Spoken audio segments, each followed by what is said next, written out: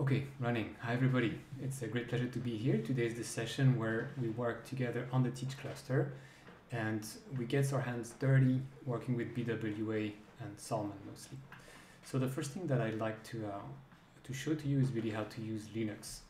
And I've posted a video that really explains the basics of Linux, but I'd still like to take a couple of minutes to re-explain everything here in case you're not familiar yet with these command line interface type of interacting with your computer. So I find that the best system to understand this is Macintosh because Macintosh is actually a dual system. You've got what is called a Finder here, and I'm sure everybody is used to that. It's called Windows if you've got a Windows computer. And it also comes natively with a Linux. It's not really a Linux, it's called Unix, but it doesn't really matter. The difference is almost none. So everything that's true for Linux is also true for the terminal here that you have on Mac. So the way to open that terminal if you have a Mac is something that I explained to connect to the Teach cluster, but that's that's an app that's here, and if you just click on it, then you get that.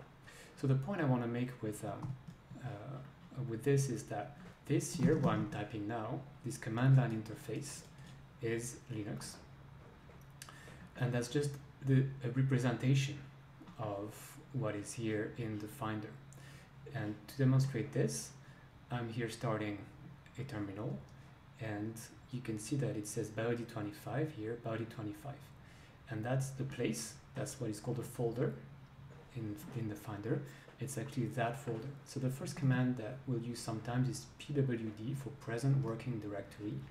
And that gives me a path here that's called users gfilion work teaching BIOD25.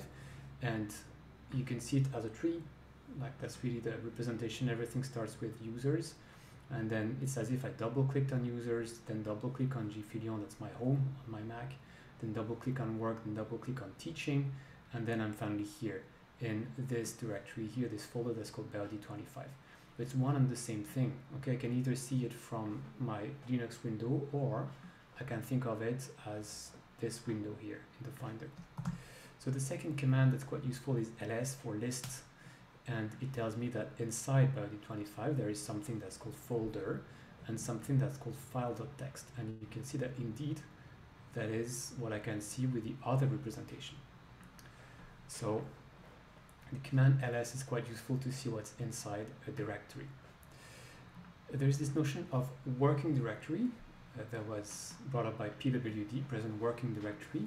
So it's the same thing as when I open folder by double clicking on it, I am now in folder and whatever I do is inside that folder. It's no longer in BIOD25.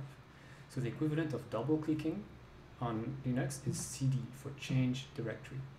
And if I say cd folder, you can see that BIOD25 here changes with folder.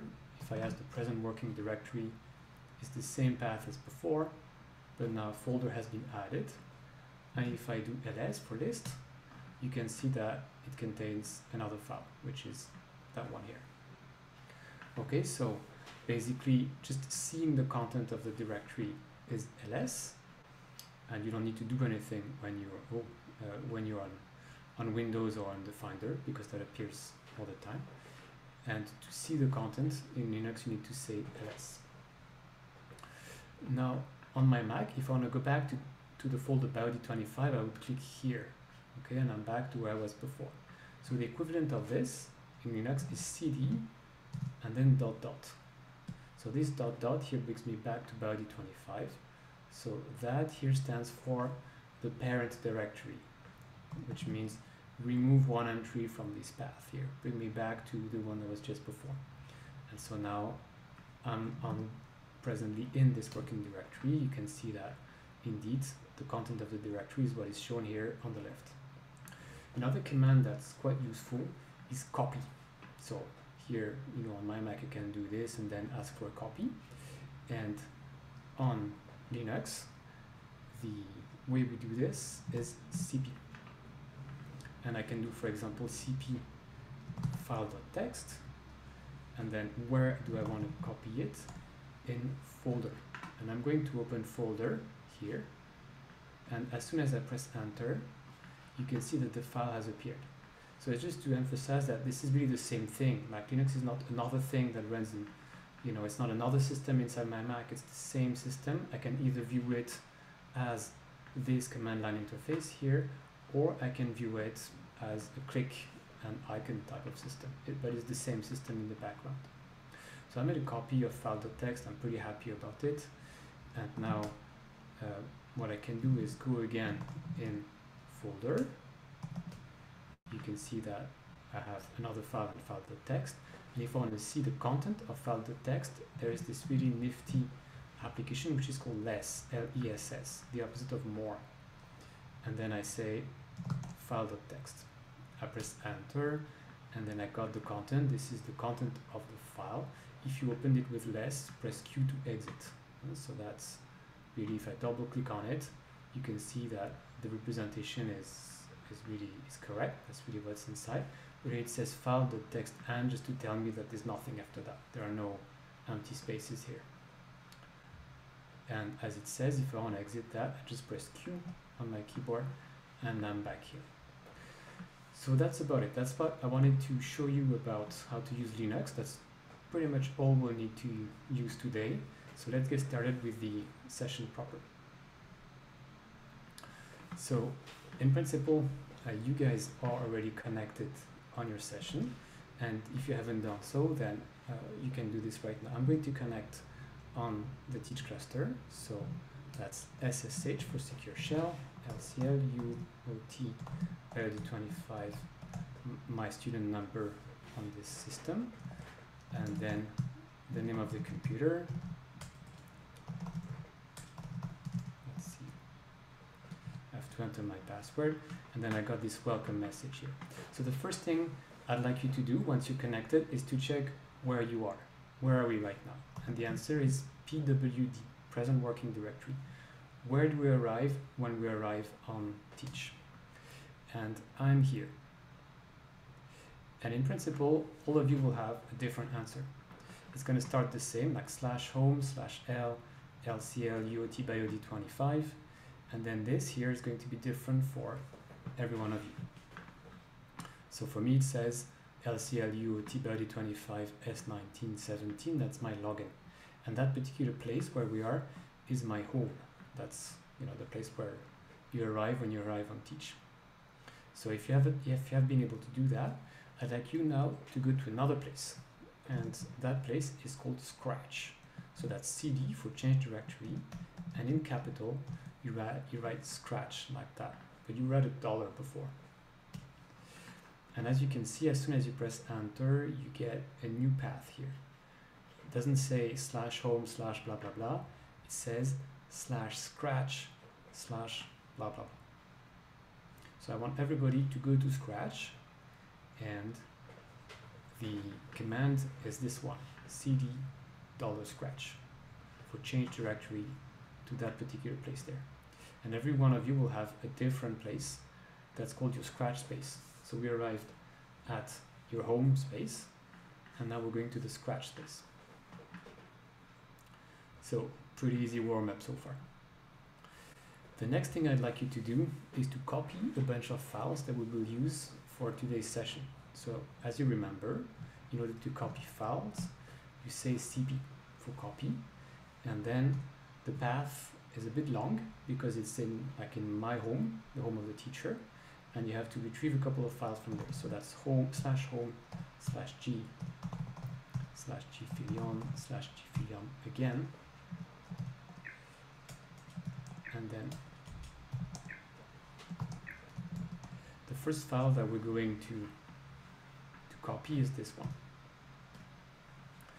so it's the one that's called like that I'm sorry that the uh, the path is broken here on the screen so I'm going to make the uh, the font a little bit smaller so that it's not broken that's going to be maybe easier for you to to copy just this once.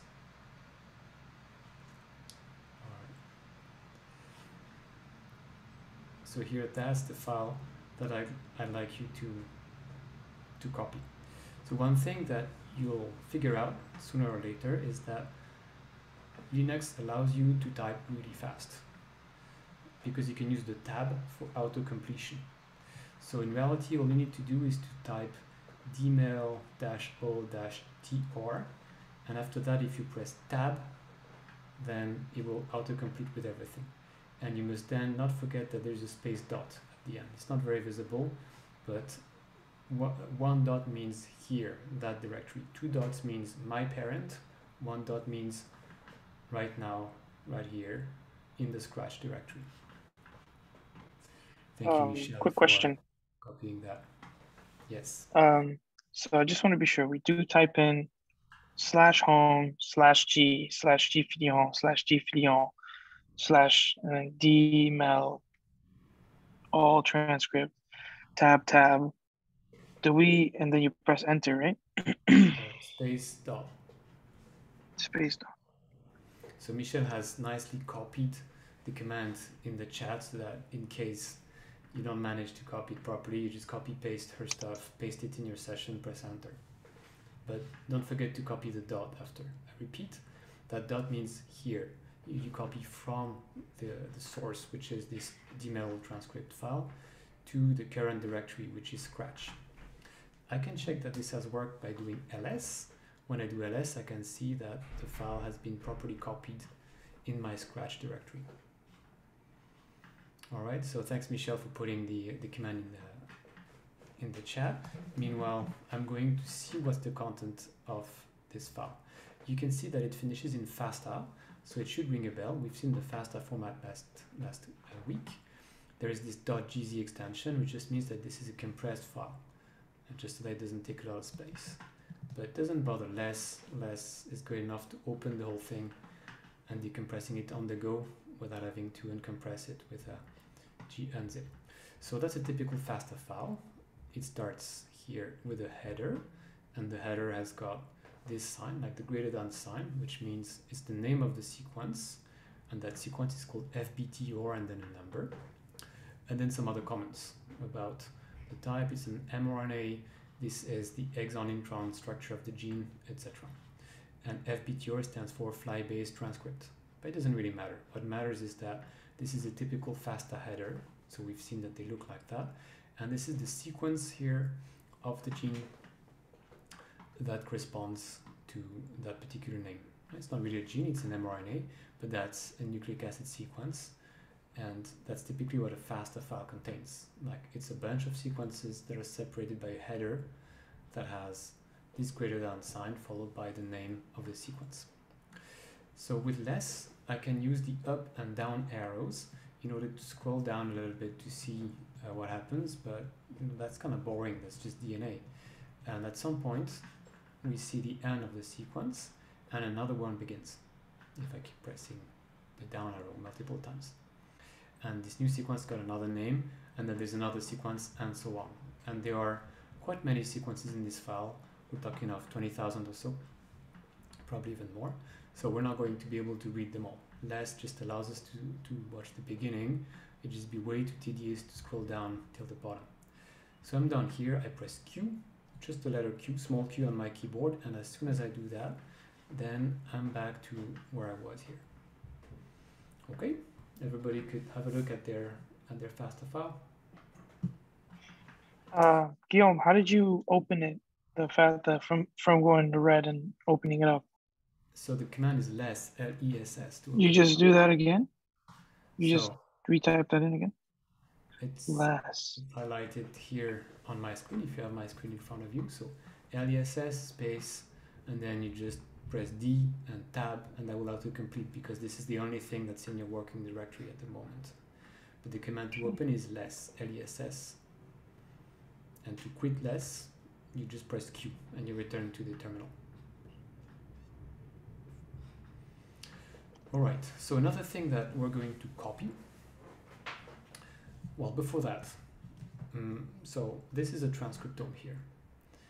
And one thing that we'd like to do is to use Salmon. So we can just ask, okay, we want to start Salmon and see what we can do with it. And quite unfortunately, we see uh, a Salmon command not found. So it seems that Salmon is not installed on Teach. In reality, it is installed, but you don't have access to it by default. So you need to do one thing before you can use most of the applications on the Teach cluster, and that's to load them. I'm not sure why exactly how this is built in the background, but there is this command that's called module load Salmon. You press enter and then it's, it succeeds.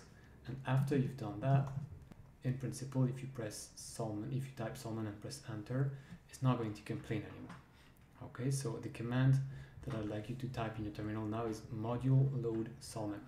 If you're still stuck in less, don't forget to press Q to come back to the back to this major terminal here.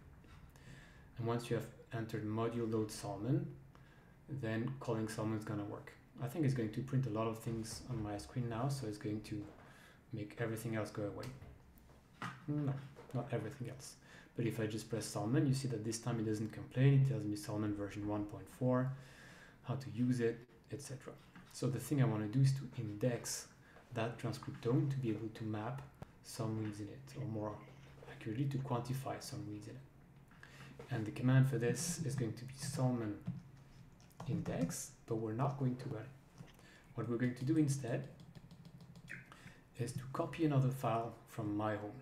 So it's going to be cp slash home slash g gfilion gfilion again and then uh, the file is called salmon underscore index dot slurm. And as usual space dot. Once you've done that you copy the file locally and with ls you can see that the file is there. So the path is slash home slash g slash g filion slash g filion again. So that's my home here on the cluster. And then the name of the file is salmon underscore index dot and as usual for copy you need to tell where you copy and you copy here with a space dot so I hope that you guys managed to to copy this file as well like the first one and when you're done you can look at the content of the file with less.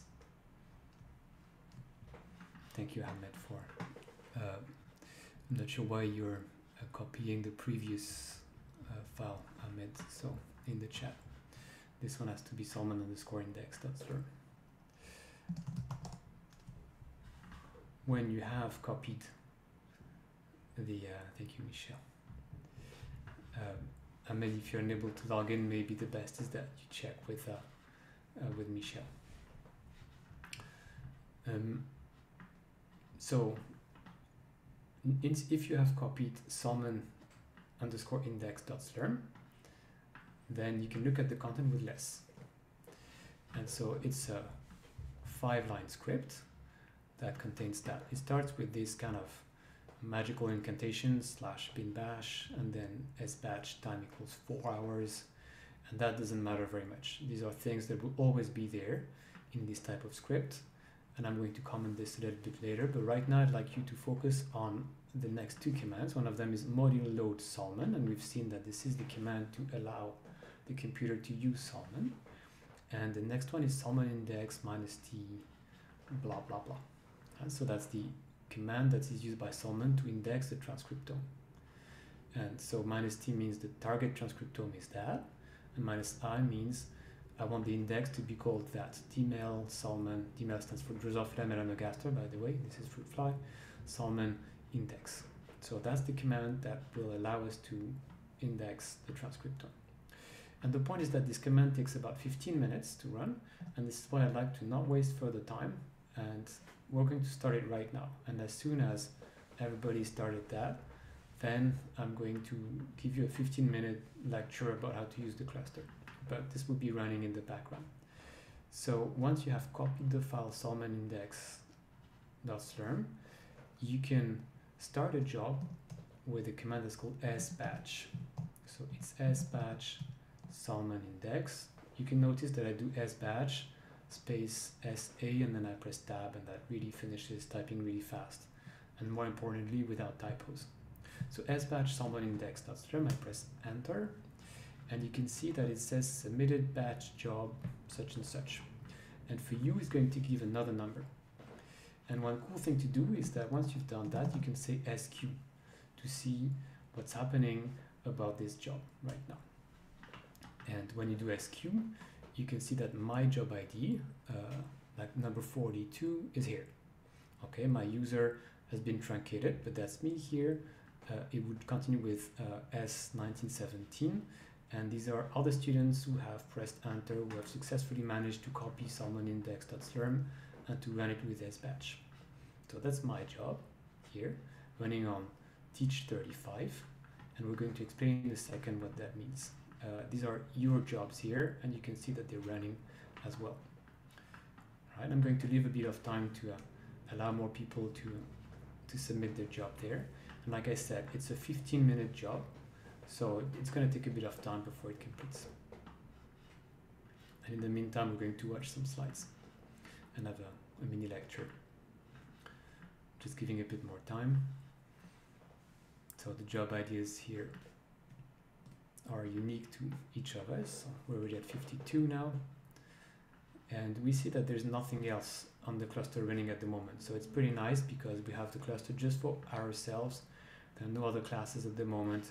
Otherwise, we'd see these other competing uh, these other competing tasks running here in the background. All right, so time left is four hours. This is not the time it will take to run. It's the time that you're allowed to have this task running. In four hours, it's going to be kept no matter what, finished or not. Okay, just let's see.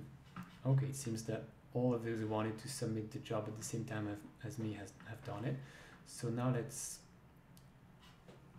explain a little bit what we've done because there was a little fast and so oops not working like that so Um, uh, Guillaume, before we keep going, uh, is it okay if I interrupt? Yeah. Okay. Um, so I put in the CP slash home gfilion gfilion uh, salmon underscore index dot slurm and then space dot. It didn't really give me anything. I pressed enter, but then it just uh, reappears. I put it in again, and it gave me the option to overwrite. Um, yeah just do ls um, Like, it's not it's not going to uh, to do anything particular just ls. ls to make sure it's there like maureen said in the in the chat Okay, okay. All right, thanks, Maureen. and then you see it's there. All right, so while this is running, let's go back a little bit and then explain what, what we've been doing so far. So you got your computer at home and this is maybe a laptop, maybe a desktop, and you've been using SSH in order to connect to what is called the teach cluster. And that connects you to one of the computers of the cluster, but the cluster contains many computers. And that computer is called teach01. So that's kind of the, the gateway, the entry gateway whenever you do SSH, you always arrive here on that particular computer, which is called Teach01. But that computer here is just a computer that is kind of, you know, the information desk, if you want. You're not allowed to really do anything here or anything important. This computer is not powerful enough, sorry, it's not powerful enough to run all the operations. So computations are carried out on compute nodes. This is not a compute node because the entry node, teach01, does not have enough computing power to process all our requests. it's not a very powerful computer. That is just a relay station. So with SSH, you come to the relay station and then you use Slurm. And Slurm is a system that allows you to distribute to other computers the task that they will each have to perform. So SSH brings you to a place where you're not allowed to do computations. You can, but you're going to be interrupted and you can actually cause a lot of problem for other users. What you're supposed to do is to use this scheduler called Slurm, and that's the sbatch command that will actually delegate the different scripts to other computers, which are called the compute nodes. And that's what's running right now. I think we're all running on a, on a node that's called Teach35. It's one of the, of the ones that are indicated here, but it doesn't have to. At some point, if we keep uh, producing more scripts, then they will go to maybe Teach36 or some other computer that is there. So that's the first thing. You do not use Teach01 for computations. You delegate to the compute nodes with Slurm. And that's a typical architecture of a cluster, and that's not really the way that you're used to working with your own computer. That's something you have to learn when you work on shared resources like SciNet. Another thing that's kind of important for you to understand, like why we do the things we do, is that there's a difference between home and scratch. So the first thing we did when we logged in was to do cd scratch. We went to that place here. We didn't stay in home. So why is that? The directory that's called home, like dollar $home, is for permanent storage. So as long as your account lives, your stuff on home will, will be there. It won't be deleted. Files in the directory scratch are deleted after a few months of inactivity.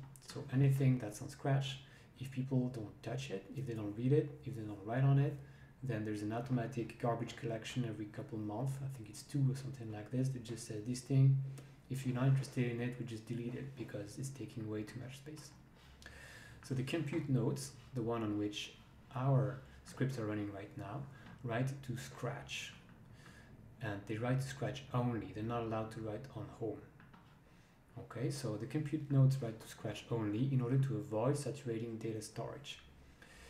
So why do they do that? Is because some scripts produce a lot of disk, like they use a lot of disk space, and so they will only be going to Scratch. You're not allowed to make the script run on home. If you really want to keep these things, you have to then manually copy them from Scratch to home, where you can keep them for as long as your account lives. But all these data producing scripts that nobody really cares about, they put it on Scratch, and every couple of months, Scratch is just wiped out. Not the whole of Scratch, but your files are wiped out to recycle the space. So since we will need SciNet only for a few weeks, like up until your midterm basically, we will do everything on Scratch. So we will never copy the things from Scratch to home, but that's for you to understand that if you run things the way we do, it's so that we can produce these things on Scratch. If you forget to first cd scratch at the beginning, when you run the script from home, it's going to fail. You can have an error message that says blah blah blah home blah blah blah not allowed. It's because the compute nodes are not allowed to write on home. You have to make them write on scratch, which means that you have to put your Slurm script in scratch and then it's going to work. Again, not very much the way you're used to working with your computer, but that's because this is a shared resource and like these are the rules if you want to be able to work on the same computer cluster. Now the other thing that you have to understand, the last one that really makes working with a cluster a bit of a you know a discipline to stick to is the time limits. So compute nodes stop working after 15 minutes by default. So the administrators of the teach clusters say after 15 minutes by default we're just cutting your stuff. No matter where it is in the process, we just kill it and if it was finished, good. If it was not finished, sorry, that's your problem. That's 15 minutes is the default. The max time can be increased to four hours. So as users of the Teach cluster, they give us up to four hours, but the default is 15 minutes. If you don't say anything, then it's 15 minutes, but we're allowed, you know, to ask for four hours. And we will always do that. No matter what we do, we always ask for these four hours. And it's just to make sure that we're well, you know, beyond the limit of 15 minutes because some of the things that we run are dangerously close to 15 minutes, which means that if they're interrupted in the middle, then you will have buggy files, like they will be truncated, the task will not be finished, etc. So that can cause troubles. So always we request these four hours here. For this, we include the command sbatch dash dash time equals 400 in the Slurm script. So that's the line that was a little bit cryptic that we've seen. It's just to say that every time we uh, want to do any task, we always request these four hours with that line here. So that's what I wanted to uh, uh, to share with you about the way we run compute computations on a cluster. So as you type ls now, you will see that there's a new file that has appeared in your in your Scratch space, which is called slurm, and then the the name of the task that you gave I mean, you didn't give it, like you were given that, that, that number here, dot out. So that is the log. That's pretty much what's happening on this task is being written to that particular file. But one thing that I'd like you to, uh, to do right now is to look again at the salmon underscore at that script. Now that we have a little bit more background on how to use the computer cluster, we can understand a little bit what we're doing here. So that's a script, meaning it's just a detailed recipe of what the computer has to do. The first thing is that it starts with this so-called shebang line and it says everything I'm writing here is written in a language that's called Bash. Bash is the name of the language. Born again shell. That's why it's called this way. But anyway, the language here is Bash. The second line means uh, this SBATCH time equals 4. I'm requesting the whole 4 hours that I'm allowed to use on this cluster. Otherwise, if I don't do that, it means that I got only 15 minutes. After 15 minutes, it's going to be interrupted. Then I leave a bit of space for readability. Module load Salmon, remember, that's the command I need to, uh, start with so that the computer has access to Salmon. If you don't do that, the script is going to stop instantly as soon as you call Salmon next line because it's going to say, I don't have Salmon, I don't know what it is. You need to actually load it. And I don't know why. Maybe someone knows why we need to load stuff on this cluster. On my computer, it's not the case, but on the cluster, it is. and finally, here's the, the real stuff. It happens here. Salmon, remember, that's the, that's the, uh, the software that's relatively recent, that is from 2017, that will allow us to quantify transcript expression. But first, as I explained in the previous class, we need to index the transcriptome. And the command to do this is salmon index. T is for transcriptome, and that's the file that we copied here. And minus i is dmel salmon index. That's the name of the index. Okay, I press Q to go back here, and you see that indeed there's this thing appearing in blue here, dmel salmon index, which is the index that is produced by Salmon. Let's have a look at the at the state. SQ is now empty except for uh, 53. So one of us still has the script that is running, but for everyone else, the script seems to have terminated, terminated properly, which means that the content of dmel Salmon index here is finished. So the index has been uh, has been completed. All right. So that's kind of nice. Out of curiosity, we can look at the out script that is there. So that's less, slurm, and then tab so that you can see the content there. And uh, now you can use the up and down arrows. To go a little bit faster in less, you can also press F for forward and that will kind of shift one whole screen. So you go much faster and you see that this is not very interesting. This is a log file, contains a lot of information about what has happened during the, the run, but like it's not really interesting for us to look at. So Q and there is now the dmel, dmel Salmon index and that's in blue because that's a directory. Okay, I can do cd dmel Salmon index. So I'm going into that directory. I press enter and I press, I type ls. I can see that there are plenty of interesting things in it. So that's here the index, the Salmon index. It's actually a bunch of files. And I don't really need to investigate very much what that is. This is like the trade secret of Salmon. I just know that it contains everything that's needed here to quantify the expression of transcripts. Good enough for me, cd dot dot to go back to the previous directory, which is my scratch space. Giving you a couple of minutes, a couple of seconds to just fool around a little bit, make sure that everything is in your working directory pretty much the same way as in mine. Your slurm out here will have a different number, but the rest should be more or less the same.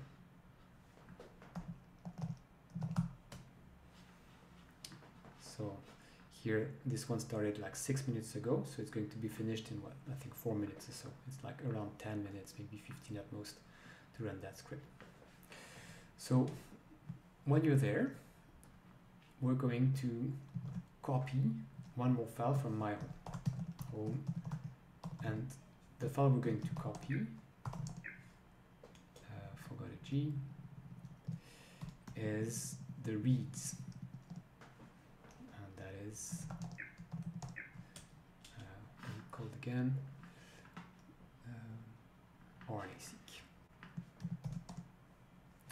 that's the file that's called dmel RNA-seq fastq.gz okay as usual you copy the whole thing. Don't forget the space and dot.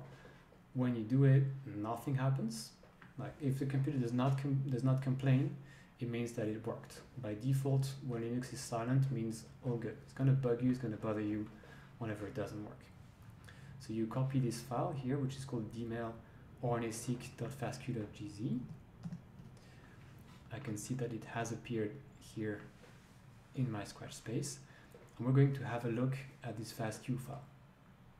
And while we're having a look, I want you to remember what we saw last time, the FastQ format, that it's really what comes out of the sequencer. It's usually an Illumina sequencer. And so think about the content of this file as really what came out of the sequencer. And that's an RNA-seq experiment, RNA-seq. Here we go, less, and then dmel rna-seq.fastq.gz. And when I press enter, I get a typical FastQ file. Remember FastQ file? Each read is four lines. So which means that this is the first read here, one, two, three, four. The next read is here, and so on. And so the first line of these four lines is the name of the read. Every read has a name in a FastQ file. That's a complicated name because it contains the instrument, uh, some encoding of the position of the of the dot on the glass slide, and also a proper name for that particular read. Then you have the sequence of the read proper. That's what has been decoded by the instrument. Okay. It says permission denied uh, for you. Um, and I'm kind of surprised. It should be readable. I'm not sure what you're trying to copy, uh, I'm trying to do the the the dmel uh, dash RNA seq uh, dot fastq dot gz space dot yeah I did I just exactly that yeah copy paste the command from Michelle. Um, so we got the four lines of, of the FastQ file. The second one is the sequence that is decoded, so that's really what the what the sequencer thinks the molecule is. The third is a plus, always, just, just like that. And then comes this relatively complicated code, remember, that's the thread quality. And every symbol that is used corresponds to one quality and it's kind of hard to remember exactly what corresponds to what but if you remember like GHI like this capital GHI stand for high quality and the symbols that stand for low quality look more like question mark uh, semicolon etc so we can see that the first uh, first couple nucleotides have got weird quality after this it goes high for some time but by the end of the read the quality goes down again because it uses symbols that are associated with low quality. And that's a very typical pattern of Illumina. You, you have quite good confidence in the nucleotides at the beginning, but as the, the run progresses, the quality goes down. That's very, very typical. So here, this, this is the result of an RNA-seq experiment. So someone has extracted the RNA from these Drosophila cells or flies or whatever that is, has prepared a library using the techniques that we explained in lecture 3 and then has sequenced it on a sequencer using the technology that we explained in lecture number 2 with an Illumina sequencer and then we get this particular file here with the format that we saw in lecture number 4 and we're ready to now use Salmon in order to quantify the expression of the reads in that whole experiment. And so again, we're going to use Slurm for that. We're going to use the sbatch command. And I have prepared another file on my home so that you can easily submit the, the, the new the new job. So that's cp slash home slash g slash g filion g filion again. And then the name of the script is salmon quant.slurm. Same as usual. Don't forget the space dot here. And once you have done the copy, with ls, you can see that there's one more file, salmonquant.slurm. Waiting a bit. In the meantime, I'll check the SQ again. Ah, so this one has been restarted for some reason, because you can see that like it's been started 15 seconds ago. So it's going to take time before it, it completes again. And let's have a look at the new Slurm script, the one that's called Salmon quant. Salmon quant. Again, a relatively short script, that's good. It always starts the same way. We're using the bash scripting language and we're requesting four hours.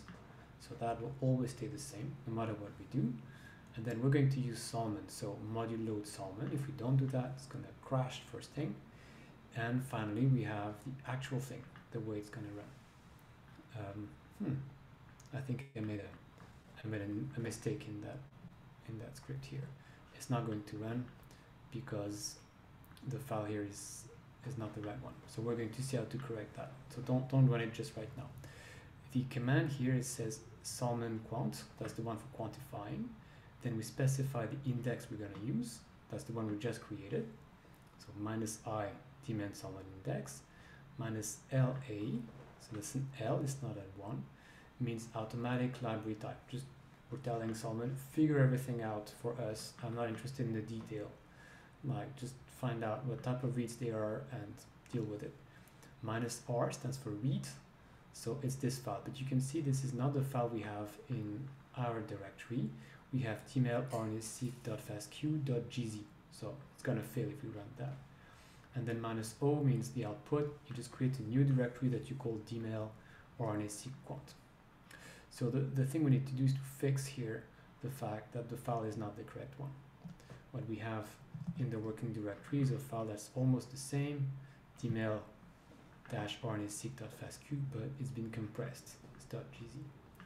So we need to edit the uh, the Slurm script that we have, and the text editor that we have in Linux, the simplest one is called nano.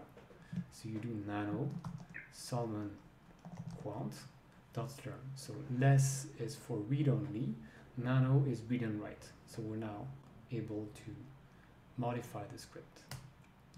And we got this relatively uh, sober interface where I can move. I hope that you can see my my cursor here moving with the arrows, but my mouse is not helping me. Like I have to do everything with the keyboard and I have to move the cursor where the mistake is. So that's dmel rnaseq.fastq and there when I'm here I enter .gz and that's the proper name of the file that is in the directory. Okay, and that's as simple as that. Nano is relatively simple to use.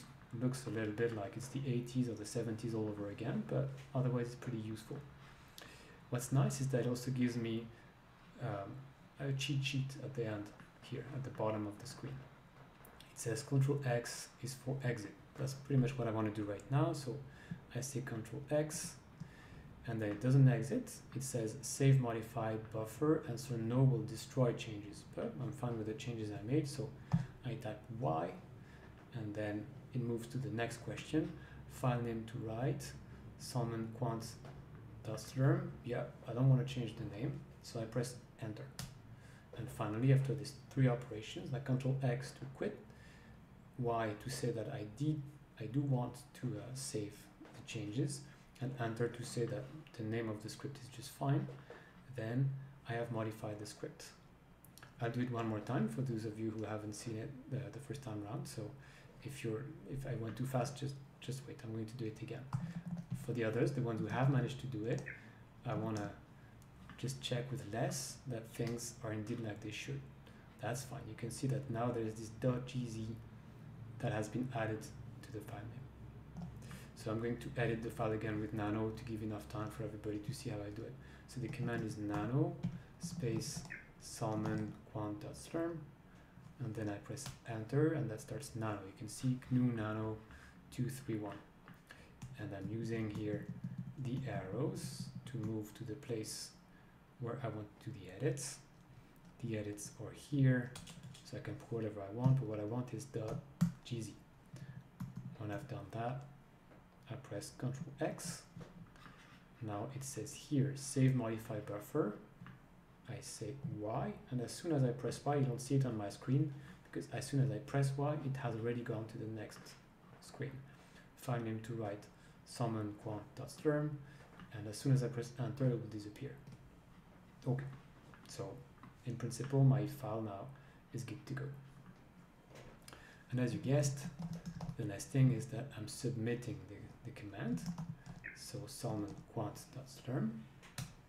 And here we go, that's the job 55. If I ask SQ to see where it is, ooh, you guys are fast. You're really going as fast as me. So I'm 55, we're going until 59. And this job is much, much faster. Like it's gonna take one or two minutes, not much more.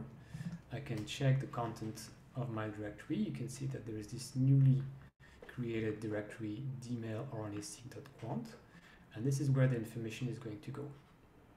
So right now all I need to do is just to wait for the job to finish but you can see that this is already done. I'm number 55 and so that's already finished.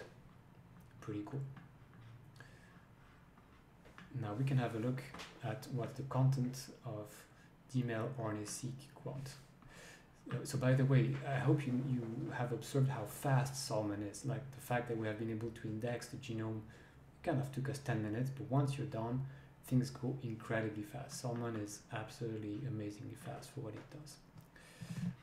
So let's go inside this directory, dmel RNA-seq quant, dmel RNA-seq quant, ls to see what's inside.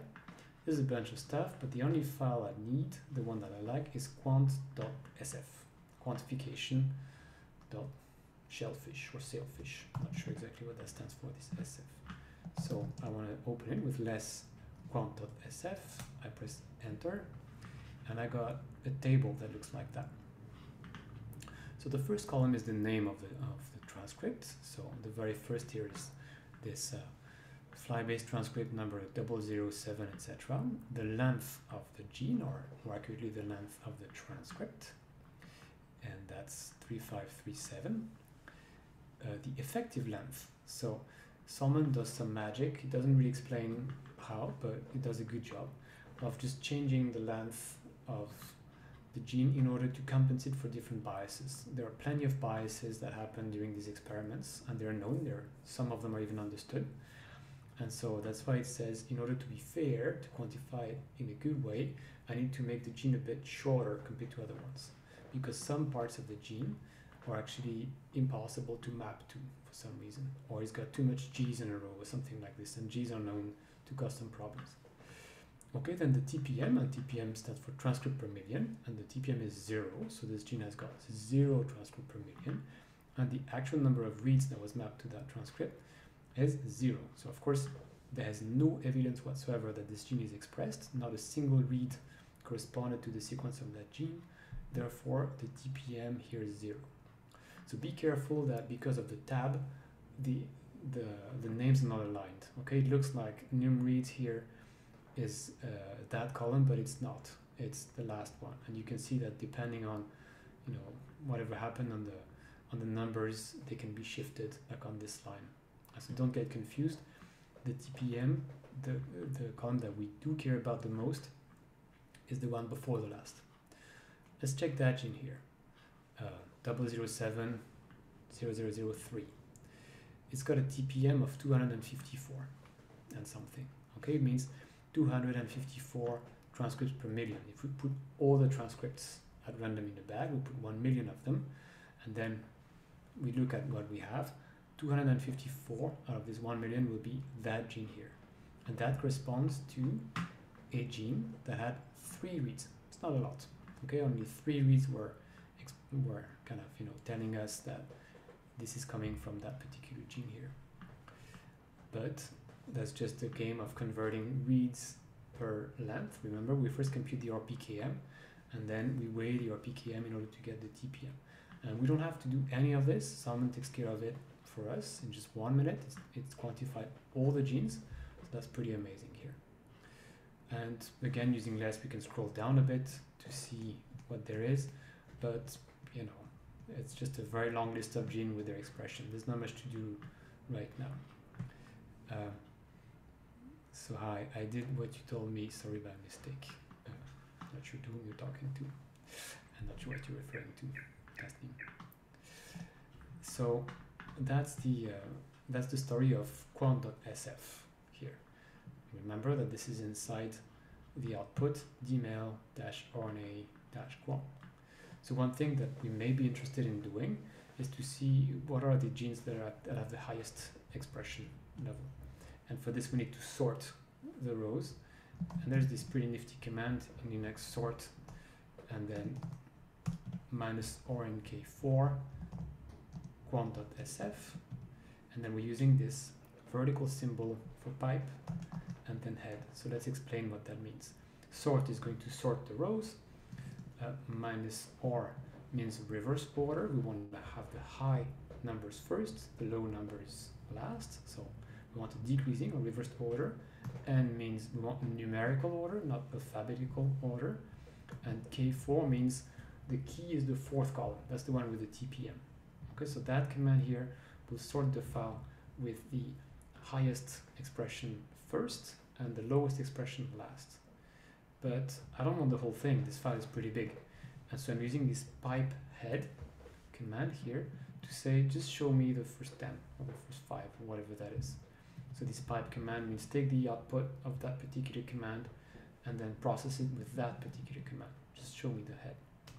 And when you do this, it takes just a couple of instants and you can see that the winner is that gene here, whatever that is.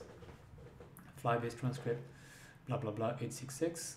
So it's got two reads, but it's got a TPM of 26,710. Well, because its effective length is really tiny, like 7, 5 nucleotides, 5.7 nucleotides. But that's the one that has the highest expression here. Okay, so that's a bit of Linux jargon. You don't really need to remember that. Just for you to understand that with a bit of comfort, when you become a bit more comfortable with the commands, you can do pretty much anything with Linux here. All right, and that's that's it. That's what I wanted to show you for Salmon. So what we're going to do, because we have plenty of time, really, uh, I'm going to answer questions right now, if you have any, or if anything wasn't clear. Then we're going to have a short break, and then we're going to do the second part about BWA. But let's answer some questions if you guys have any.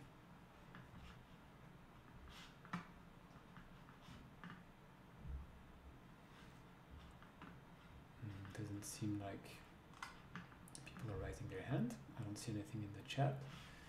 Let's check the queue here. Wow, everything is done. It seems that those of you who wanted to do the the exercises at the same time have been able to. That's really nice. I think I was a little bit afraid that we'd have some issues with the clusters. Like as you've noticed, there were two days when the clusters were the cluster was down. So I'm pretty happy that two days running fine, and then we could do all this without problems. All right, no question. Then a five minute break. Let's even say seven minute break because we have plenty of time. So we meet again at ten past three.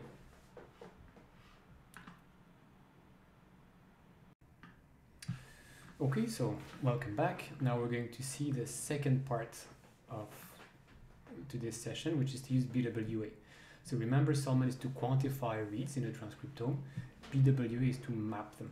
These are slightly different processes. You don't really care about how many reads go to which gene. You actually want to know exactly where they go in the, in the genome.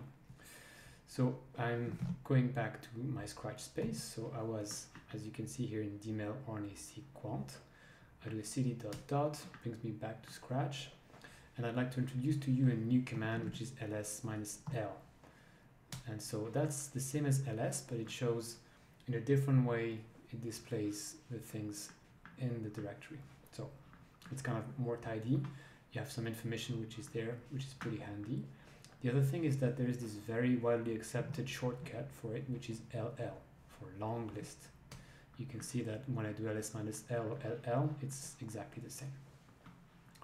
So I can see a little bit more than just what is in the directory. I can see here the names that are there and I can see when they were created. So that's very recently, all of them are there. And this is the size here. That's the number of bytes that they occupy on the disk and this thing like it's me it's me again uh, not me again is the group that we're together and these are the permissions what is allowed to do with this file by different people. So sometimes you know I'll list the directory like this but personally I prefer to see things in that way but it's up to you. You can just say ls if you prefer the compact version but I can I prefer the expanded version. So next up, we're going to copy the genome of Drosophila, not the transcriptome, the genome. So here we go. That's as usual, same place, home g dot gfilion, gfilion again, and then that's dmel all chromosome. Okay, and you see that I just type dmel all c, and then when I press tab, that auto completes. I don't forget the dot. That takes just a couple of instants and after that I have one more file. I'm highlighting the command that you have to type in your uh, in your command line interface. I have one more file, which is the first, the, the one that's called dmel all chromosome here. That's the one that we're going to work on. There's a question in the chat that I didn't see before. How do we know when the sbatch command is done? That's a good question. And it's pretty much a matter of SQ okay so like you can see your task in, in the queue and if you just keep pressing SQ then uh, you will see that it has disappeared and when it's disappeared it's a good sign it means that this is finished so if you have literally no idea how long the, the task takes then it can be a bit annoying because you have you know like are you going to check every minute every hour every day etc so that can be a bit annoying. The best is to get an idea how, how long your task will run and then you check around the time when you expect you, you run SQ. For you to know everything you will have to do on these assignments and on the on the midterm is approximately 15 minutes. Okay, nothing is really running more than 15 minutes. I've calibrated it so that it takes approximately 15, but can be a bit more and very often it's going to be less. Um, uh, when I type 1 1 it said command not found yeah that's LL for long list two lowercase letters also um, another thing while people are kind of you know catching their bearing is that um, uh, Theodore pointed out to me that the midterm was not accessible so I apologize for that I thought it was but because of some um, of some mistake then you guys could not watch the questions of the midterm so I thought that you guys had already access to the midterm, at least that was the point. So from now it is. Uh, you should have been able to have access to it from day one of the class, but it was just for you to see the questions. You didn't have the skills to actually work on them. But from today, you do. Like everything that we see here is pretty much what you need that is sufficient to do parts one and two. You won't get much more information about these parts in the coming class. The coming class will be to do part three.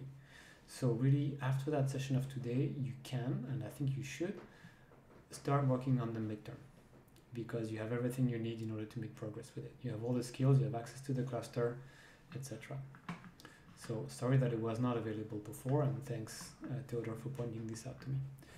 On the other hand, anyway, you didn't really have the skills to do them before today, so it's not a huge loss. It was just to allow you to see the questions, to start thinking about them. Okay, so now you should have now this file and being able to see it with uh, LL if you want it or LS. So that's the genome. Let's have a look at it. So less, and then we open that file here. So that's Come on, O chromosome.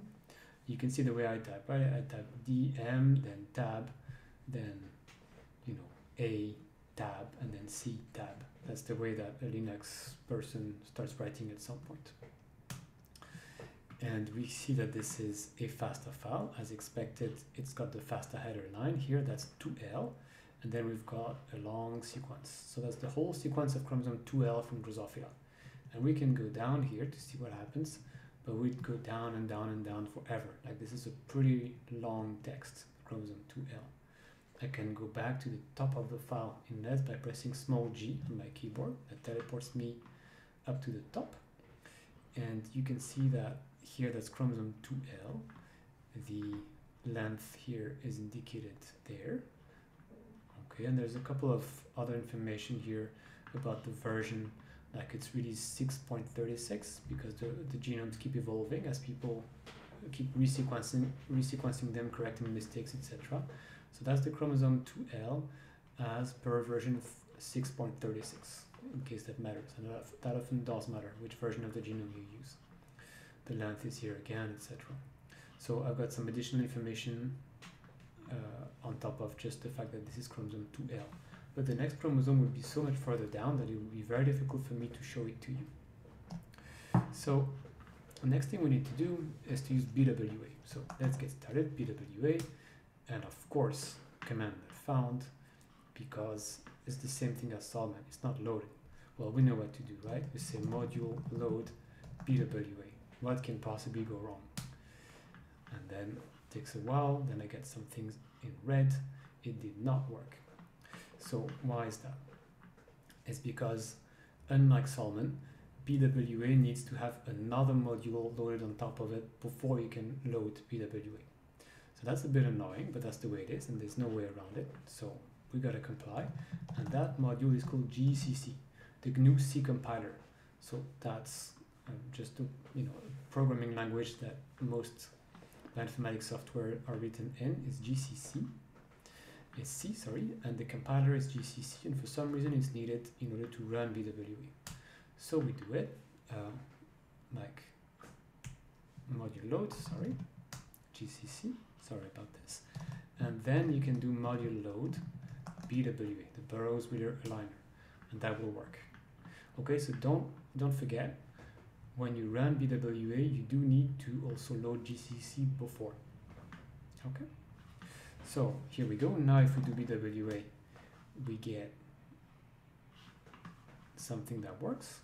So that's BWA version 0.7, doesn't matter very much. What matters is that there are the, the commands index and mem. And the first thing we want to do is to index the genome. And this time I haven't been really nice to you, even less than usual, because I haven't provided the script for you to copy from my home. You have to make your own. So you're going to have to use Nano, remember, like the text editor, to recreate a new script that will be and that will allow you to uh, index the genome. So we're increasing the level of difficulty bit by bit. My recommendation is that you don't create a script from scratch all the time. You take a template. So the one that was kind of close to what we want to do is the Salmon index. So we're going to copy the Salmon index Slurm script to make a new one. So Salmon index Slurm, and I will copy it to a new file that, that I'm going to call, of course, BWA underscore index slurm. And when I do that, of course, it has created a new file, which is here, bwa index slurm, and that's exactly the same content as Salmon index slurm. That's not what I want, but that's a good template, okay? So that's the command here, cp Salmon index term, to bwa index slurm. You can call the file the way you want, it doesn't matter very much but I recommend you call it something meaningful like BWA index. And once I have my template, I'm going to edit it so that it contains the commands that I actually want to use. So nano BWA tab, that autocompletes to BWA index.slurm. And that brings me to my very sober interface of nano. The first two lines, remember, they're always there. We will never change them we always request four hours and we always use the bash programming language. Okay, module load Salmon, no, we don't do that. We say module load GCC, then module load BWA. Okay, remember, first GCC, the GNU C compiler, then BWA, the one we want to use. Okay, then it was not Salmon index, that was BWA index, and the way this command works is that um, what was the last input? Uh, what was the last input? Not sure what you mean, the last input. Uh, so before before you came to this page, um, after you put after you put bwa underscore index dot slurm and then uh, then ls no not ls then then you just press enter. Um, then it's nano bwa underscore index dot slurm and that brings you here and so we have bwa index and it's not the file dmel all transcript here that was dmel all chromosome and the rest is not needed so bwa is kind of a little bit more friendly to use at that stage than Salmon in the sense that the command just has to be BWA index DMEL chromosome or whatever is the name of the genome that you want to index here. Okay, so your file should typically look like that. I'm going to leave it on screen a couple more moments so that you have time to really copy. If you make a typo here, unfortunately your script's not going to run and then you will notice it maybe early, maybe late. And so make sure that this looks like that. I haven't modified the first two lines here. They are the same. Bin bash um, and s batch time equals four hours. I've written then module load GCC, module load BWA, and then the actual index command, which is BW index, DMEL chromosome, etc. For the second line, was it supposed to have two dash or just one? Two dashes here. Okay, this one, anyway, you don't modify it, but it's dash dash time equals four hours. like it's not always visible clearly that there are two dashes, but that's two. Sometimes you get one dash, sometimes you get two dashes. Like you kind of get used to it at some point when you when you're in the Linux world. Usually it's one dash and one letter for the small version, and two dashes and the whole word, the whole word. Okay, like because you write time in complete, the convention is that you'd have dash dash time, but they would be, for instance, maybe there is another way of writing it, which would be dash t for just time. So there's the short option and the long option. They're called. All right, I think that's enough time for you to have copied this. Uh, to get out, Control X, save modified buffer, yes, Y for yes, file name to write to, just press enter to say that we don't want to change the name of the file. So this file now has been changed, just to prove it to you, you can see that the initial file here, BWA index slurm was 107.27 bytes, and now it's 113 bytes, so it's not the same file anymore and I'm ready to submit. So sbatch bwa index slurm and I press enter. And just to make sure that this is kind of running, I check it here and I want to make sure that it's not crashing instantly basically. That's always the first thing I do. Uh, 113, 114, 116. Uh, I'm not sure what you guys are talking about. Um, and so the um, the thing I do is I always do SQ instantly in order to uh, make sure that the script hasn't crashed instantly, that this is kind of running at least you know 30 seconds, something like this. If it crashes before, then something's gone wrong. Alright, so that's pretty nice. Um, like it seems to be running, and this one is not going to be as long as Salmon in principle. Like this is more like five minutes or something like that. So while this is running, I'm showing again the structure of the directory and I'm going to do the nano bit again in case some people haven't managed to do it. So the command is nano bwa underscore index learn. That brings me to the nano page here and the file should look like that. Like these two lines never changed. They come from the fact that I've copied the template from Salmon index and I've replaced the module load Salmon by module load GCC, module load BWA. I don't know why GCC is needed for BWA but not for Salmon. No idea. And then the actual command to index the genome, which is bwa index and then the name of the genome. We can decompress it or keep it in compressed version. BW is fine with both. And then to exit that is Control X. But in my case, because I haven't touched the file here directly, brings me out because I haven't made any edit. Okay, still running, so great. It's not crashed, that's actually good news any questions or any things you'd like me to clarify while this is running?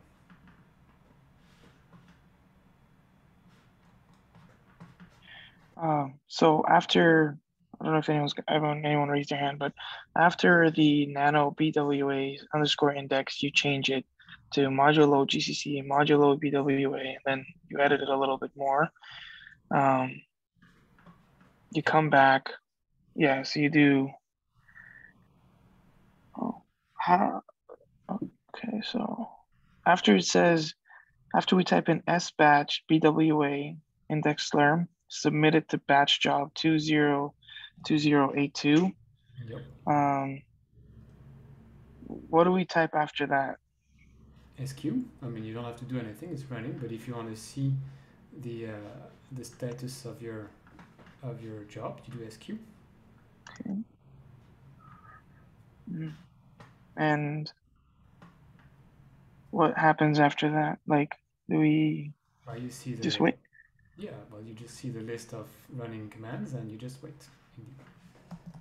Okay. So still running here.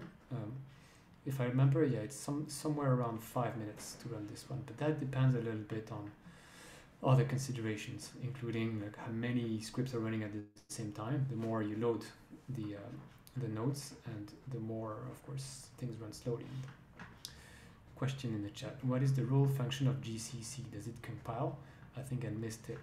I do not know. It's a very good question. I wish I knew more about this. So when I use GCC on my computer, it's indeed to compile the code. So which means that you create the code once, and after this you don't need GCC anymore because the code is already running. So why would you need to load GCC for something that's already compiled? That's a bit of a mystery to me. But anyway, that's the that's the thing. So my guess is that this module load stuff, there is a compilation step at some point, and that's just hiding the fact that the things are compiled just on the go. But I'm not quite sure. Actually, the uh, it's a pretty elaborate cluster, the Teach cluster. It actually runs on something that's called Niagara, which is I think the biggest cluster of Toronto, like the computational cluster. And they have just kept a little part of it for teaching purposes, like you know old computers that are maybe uh, five or ten years old, things that are not exactly uh, like state of the art.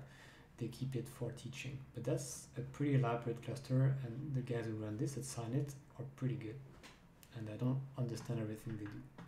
Most of them are physicists actually, which means that uh, they're more used to people running um, simulations for physics. Biologists are not the main users of the cluster, I think. So there's also a cultural component. Sometimes they use things that are very popular in physics, but not really popular in biology, and it's hard for me to follow. Okay, the genome is indexed as we're talking, like most of the of the tasks are finished. But thanks for your question, Margaret. It's a great, great question. I wish I knew the answer. So let's have a look at the content of our directory. This was here, Dmel all chromosome R636. That was the genome. And we now have these files here that have been added by BWA. We're quite confident that the, the indexing worked because our job is no longer in the list so it seems that everything ran as it should. So again, the index is not just one file, it's a bunch of files, like in the case of Salmon. The difference is that uh, doesn't create a new directory with everything. It puts it in the same directory where you had the original genome here. Okay, so all these things, there, there, and there, are like this is the index created by BWA, and this is the genome that we had in the beginning. So let's now copy the reads, the fastq file, which again is in my home. So cp home, g, gfilion, gfilion again, and they are called uh, dmel dash genomic. And you have two files because it's a and read file. It's two files. So the way I do it is that I'm saying cp slash home slash g slash gfilion gfilion dmel genomic underscore star, which means complete with everything that matches the beginning. And then space dot. That takes a while. And I can see that I have not one more file, but two more files. dmel dash genomic underscore one fastq.gz and also dmel dash genomic underscore two fastq.gz. Okay, so the command here is dmel dash genomic underscore because they both start with that, and then underscore star to say everything that matches the beginning. There's another question in the chat while you guys are copying the files. This way I'm going to answer it. Other packages like BWA and Salmon that exist in Python. What is the benefit of doing it in Unix? Again, an excellent question. So Python is an amazing programming language. I love Python. I program with it all the time. And C is also an amazing programming language. And I love C and I program with it all the time. And the thing is that what I would do in C is very different what I would do in Python. And I use C for speed of execution. When I want the code to run really, really, really fast, then I'm going to run it in C because there is no way to write code that runs that fast in Python. And that was pretty much the same logic uh, for people develop BWA and Salmon. Like they wanted to squeeze as much speed as they could get at the time when you run the scripts. And for this, they coded it in C and not in Python. Like there is not really any way to get that level, that speed, if you program in Python only. And why is that? I'll just keep it relatively high level, is because C talks directly to your computer. Like the instructions that you give in C are kind of very close to telling you, you like your CPU what to do. And Python doesn't do that. Python has an intermediate level of interpretation. It's called a scripting language, an interpreted language, which means that every command needs to be first interpreted and that command is then passed to your computer. And that layer here, like this double step process, makes Python inherently slower than C. That's why you cannot have the same speed as you get in C. So now you ask, then why use Python if it's so slow? Well, it's because it's much nicer to program and you make much fewer mistakes when you have this level of interpretation. Like that here is really buffering you against a huge number of mistakes and bugs that you put. So when you want to code fast, like you develop fast, you develop in Python. When you want to, when you have the time to develop and you have plenty of time to fix your bugs, but you want the code to run crazy fast at the time you use it, you program in C. And that's why there's no BWA and Salmon in Python only. All right. Um, so in principle by now you should have the two files. So let's have a look at them. These are again FASTQ files. So I'm going to open the first one, dmel genomic one. And we have the typical structure of FASTQ files. Oops, sorry about that. Come on typical structure of FASTQ files with four lines per read. You can see that the name of the reads are like PE read one uh, dash one slash one. So it means paired and read. That's me. I changed the name to make it clear that this is not one read. These are two reads per read in a sense, paired and read. And the slash one means is the first read of the pair. That's the sequence that has been decoded by the Illumina machine. That's the quality here. You can see that it's pretty good. It's most, mostly J's, F, etc. These are typically associated with high quality. So a nice quality read here. And so remember here at pe read dash one slash one. Let's have a look at the other file. So we do dmel genomic underscore two. Now the name of the read is pe read one slash two. So that's that's the mate of the other read.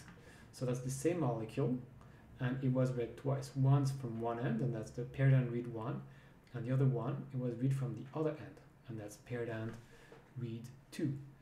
So that is here this two that is after the slash means is the second read from the same molecule. This is a paired end read file. So we got two files but in reality, they describe the same molecules, just different ends of the molecule, either that one or that one. So that's why we got two files, and we're going to now map them using BWA. So the way we're going to do this is, again, by creating a Slurm script that we're going to submit. So let's get started.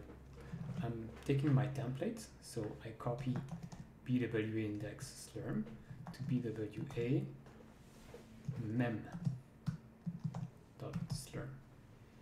I don't want to start a script from scratch. I want to copy a template because it always has the things that are kind of useful for me, like the first lines, etc.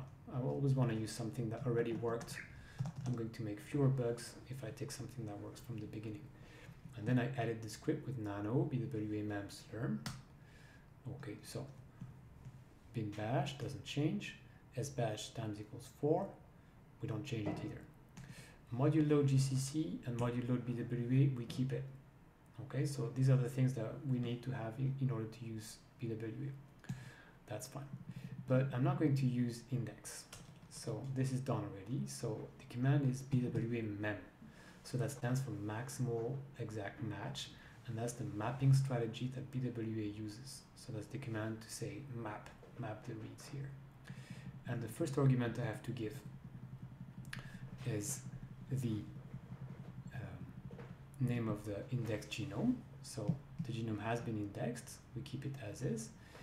And then I'm just giving the names of the two files that I'm going to map inside that index, inside that index genome.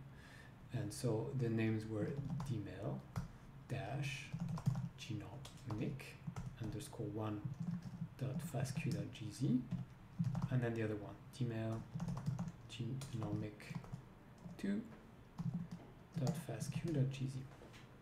that's the command here. Okay bwa mem for map the name of the genome here the chromosome etc and then the first file I want to map and the paired and mate that I need to map. Dmel genomic underscore 2 fastq.gz so unlike Salmon, if I do that, it's going to spurt everything on screen and that's not going to be very useful. I want to keep it in a file. So I'm using that symbol here, greater than, and saying uh, something like mapped.sam. And if you remember, the SAM format is really the one that corresponds to the output of BWA, the map reads. So don't forget here to put this redirection symbol, which means take the output of that command here, which would be all on screen, and then we get lines and lines and lines of things looking like gibberish, and put the content of that output in the file called map.sam, and that will create it for me if that doesn't exist just yet. I'll leave it on screen a couple more moments for you to copy that line here. It's a annoyingly long one, so try to not make typos. BWA mem that here's the name of the file that was there before and here quite careful when you copy that because if you make a typo there it's not going to run okay dmel genomic underscore one dot fastq.gz dmel genomic underscore two fastq.gz okay control x to exit y to save the changes enter to not change the name of the script so my script is here, bwa mem slurm, and I'm ready to submit it as batch bwa mem slurm. And as usual, as soon as I submit it, I make sure that my task is in the queue here. I'm number 84, that's here. After five seconds, it hasn't crashed yet, so that's pretty good news. Didn't seem to have made some typo or something like this. I'm still in the race, that's pretty nice, and you guys too, that's even nicer. So this one is kind of fast. If I remember, this is one or two minutes here uh, in order to run this command. So we're going to have the answer pretty soon. Alright, once again, I'm going, in case that was too fast for you, I'm going to open again the, the script like the nano So that's bwa mem slurm. Your file should look like that.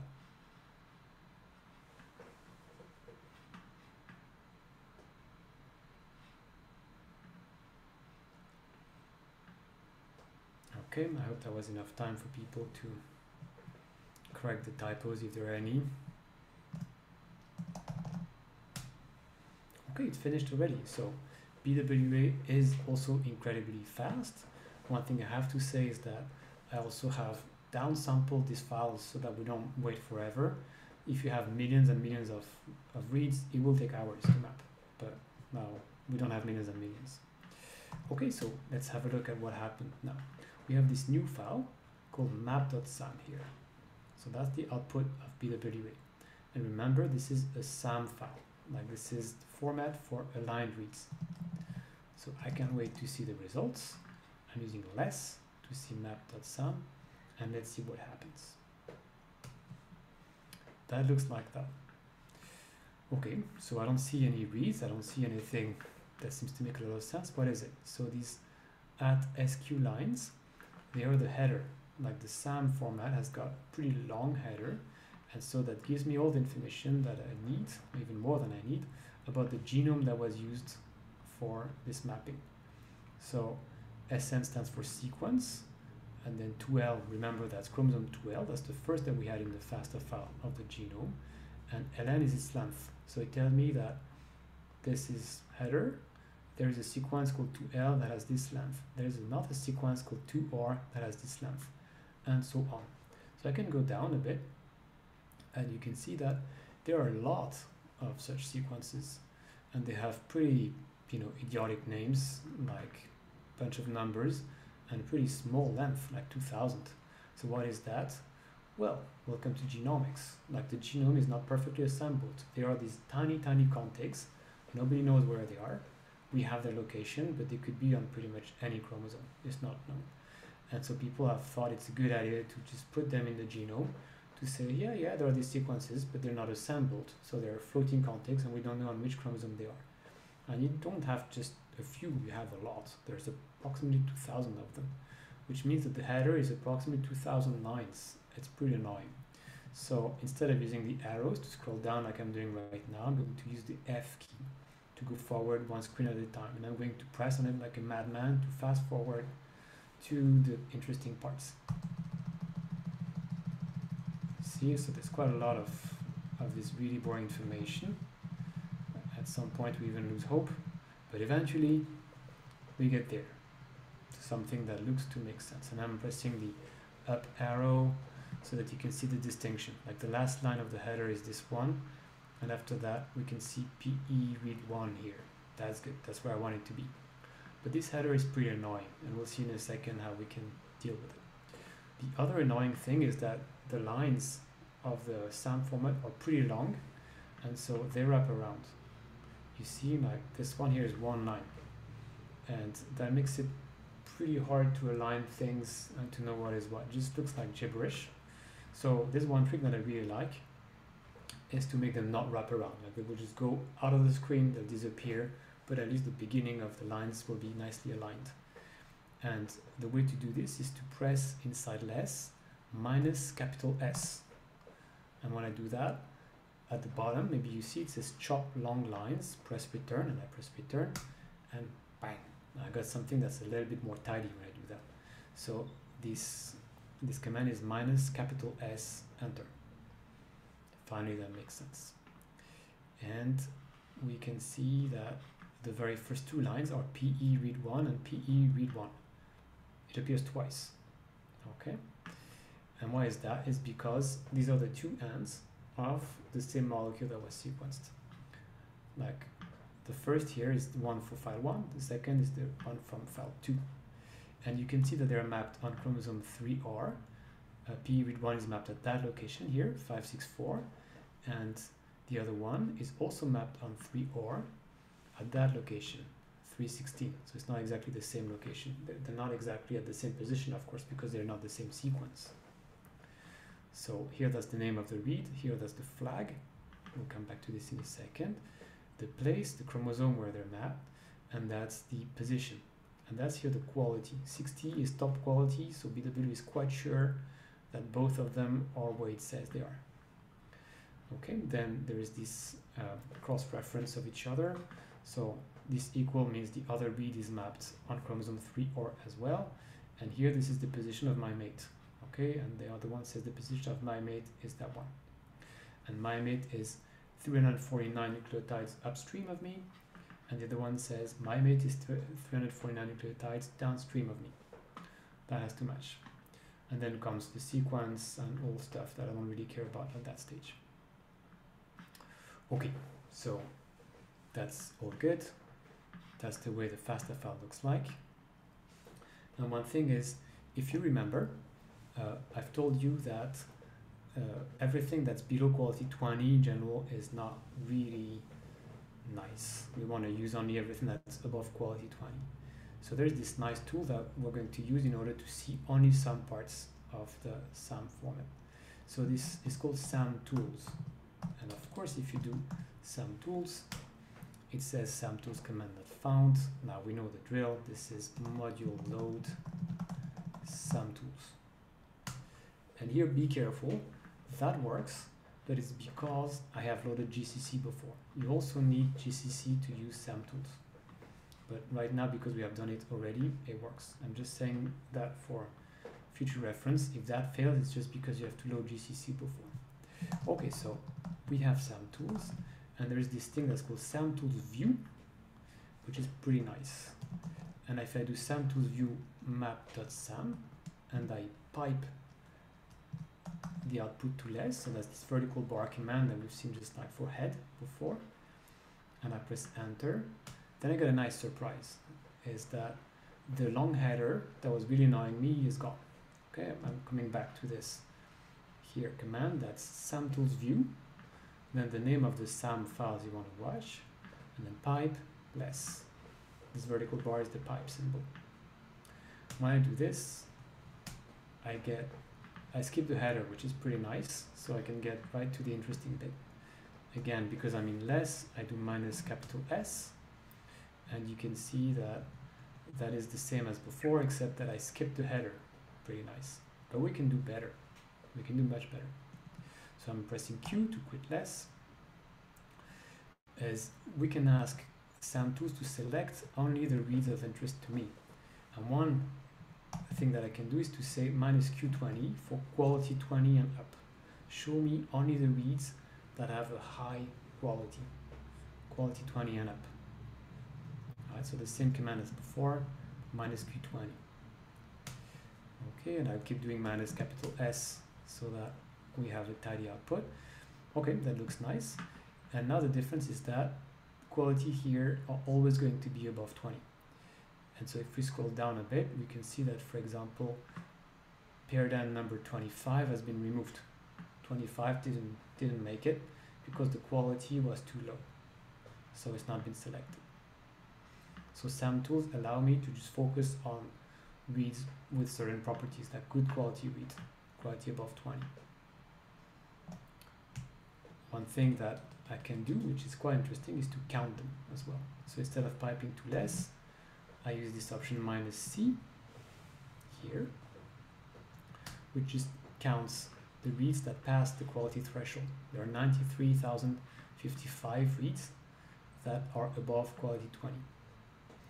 One little trick that I forgot to mention is how do I tap so fast is a sequence that I tapped before. I'm pressing the up arrow. So if you just keep pressing up arrow, you go through the previous commands that you've entered, and that's a, a quick way to regenerate the command that you used before. So when you press up, you, you're going to scroll up the commands that you typed before, and when you press down, then you're going to scroll down to see the one that you like. Okay, that's that, that saves you a lot of typing. I forgot to mention that. Okay, so that's it for quality 20, but there are other things that we can do. For instance, we can ask uh, what are the genes, what are the reads, sorry, that are on the reverse strand, the one that are mapped on the opposite strand. Like there's the reference strand of the genome, what are the reads that are mapped like this, not like that. And the command for this is minus F16, so that means filter 16. If you remember last week's class, there is this flag field, which is the second column, and every question has a has a name, a number, and question 16 is is it reversed? So if you say minus F16, then it will say, yeah, I'm taking only the ones that have answered yes to that question. And then I'm piping the output to less here to see what I get. And again showing only like with capital minus S to align everything, you can see that now the reads appear only once. Okay, read one, read two, read three, read four, etc. is because remember their paired end. If one is on the forward strand, the other one is on the reverse strand. They cannot be both on the reverse strand or both on the forward strand. The reads are, are read like that, so which means that I have only one of the two reads of the pair. And so these are the ones now that are mapping like this on the genome with that option. Same thing, I can count them like minus C count the reads that are on the reverse, reverse strand, and that's 50,000 or so. And if I want the opposite, the one that are not on the reverse strand, the command is minus capital F instead of minus small f. So filter out instead of filter in. And we see that we have approximately the same number. Well, that's logical. If everything is, you know, one read like this, one read like that, then you should have as many reads on the forward as reads on the reverse strand in the genome. So now how do I see how many reads are on one chromosome? How do I count them? Well, the answer is you can't, unfortunately. You have to do a little bit more work for that. You have to index the uh, the SAM file. So how do I index the SAM file? The answer is you also can't. You have to do a bit more work for that. You have to sort it first. So we're going to now sort the SAM file, then index it, and that will allow us to start counting reads in different regions of the genome. So the command for sorting a file is called samtools sort. Okay, so I want to sort map.sam,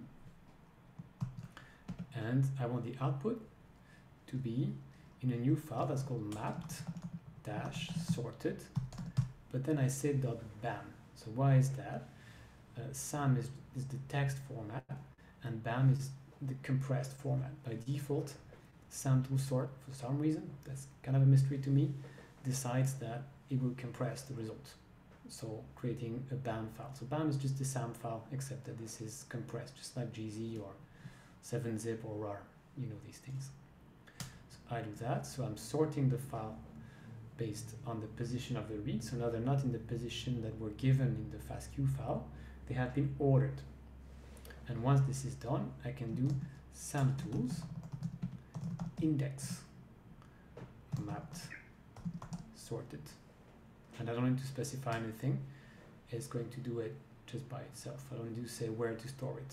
Okay, samtools sort and then you, you sort it into a BAM file, not a SAM file, and then samtools index, and that stores the index locally.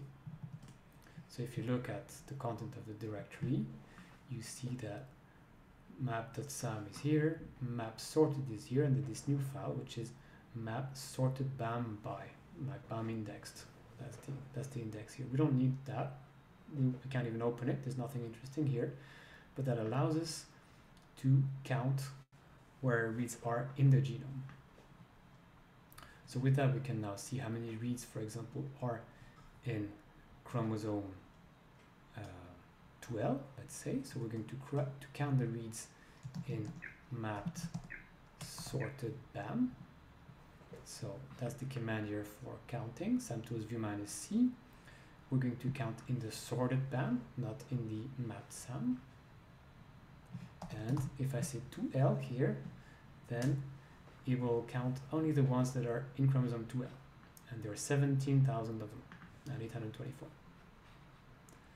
but we usually don't care about this we want to have a certain quality to know do they really map in chromosome 2L yeah in that case they must have minus quality 20 and when you do that then you see that you lose a couple like 800 of them or so were mapped to quality to 2L but not with high quality. So if you say I want only the thing that is kind of sure mapped to quality 20, these guys disappear.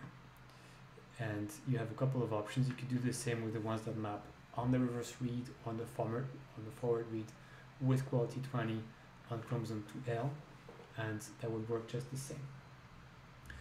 So the point is that in order to count the reads that map to certain locations, like whole chromosomes or regions of the chromosome, you first need to sort with to sort and then to index.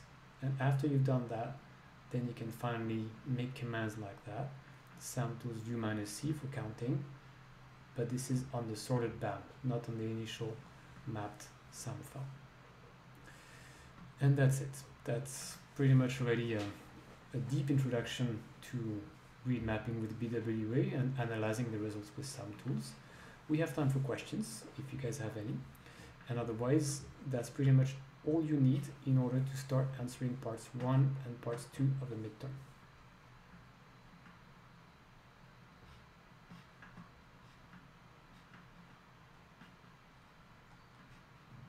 Any questions?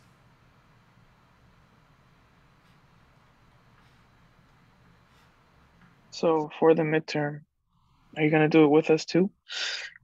Gonna help us out? Sure. You'll see what happens. So if, if you have read the, the syllabus, you see you see that anything that's a sneaky attempt at getting the answers from me will actually get you penalty points.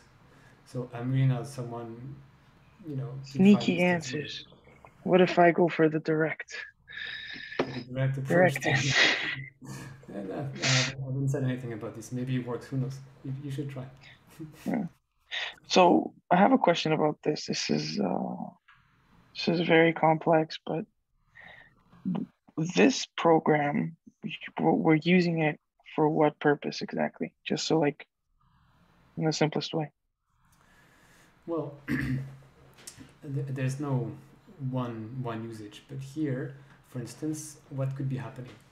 These guys, they have the reference genome of Drosophila, and what they'd like to know is that they, they just catch Drosophila in the wild, which is what it is actually, and they'd like to know what is the genome of that Drosophila, and Mhm. like starting to sequence the genome from scratch is a lot of work. It's really a lot of work.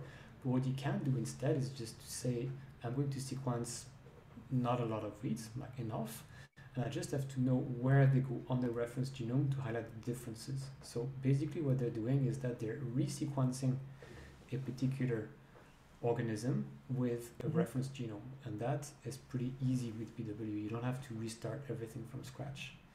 So what they would do is to map the reads to the to the reference Drosophila genome, highlight every difference to say that particular organism, like that fly, had got a T here and they had a G there. So like you get all the SNPs basically. So you're kind of snipping the whole Drosophila by doing that. You need to map the reads because you're just sequencing the genome.